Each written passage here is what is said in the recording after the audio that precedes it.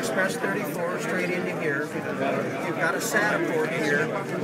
We can use a port multiplier on that, so make three copies at the same time. It's no big deal. Keep one on set, take send one to post, keep one for the director.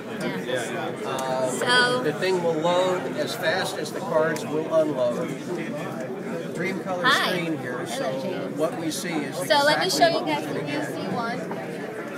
If we need a daily, we'll have to, you know, do This is. HP's This has got an new workstation all-in-one at the front system. For, for the Their their design is all about no tools. Everything is hot swappable, everything is movable, everything is upgradable. From the power supply to the video card to the SSD hard drives that come with it. So if we These are two 300s right now. You can change it to one three and a half inch, about that again. 32 gigs of RAM, saying that you could run Blu-ray, USB, FireWire, Bluetooth, speakers, sub out. So you have everything in your fingertips. I can Everything in your finger. Just press this down. I can have, I can With your finger.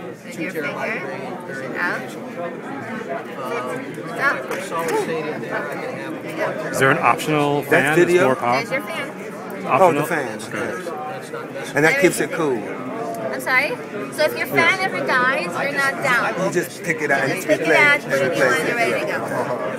So Not like your production is never stopping because your fans are out. okay. And your component don't overheat. Oh wow. So each, So- everything is all this is is right there, accessible. And on top of that, the nice part of it is it closes by itself. And then the screen that they use is the same technology as the DreamColor, where it has two billion colors, so you can use it for color correction.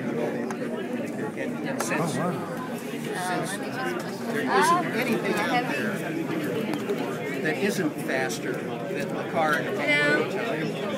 Just read writes. What type of connectivity does it have built in? I can't use it. Um, if I'm copying. Inside on the sides, you have the SD camera reader, DVD, Blu-ray, USB 3, and FireWire. What am I going to do with 60 And Ethernet, of course.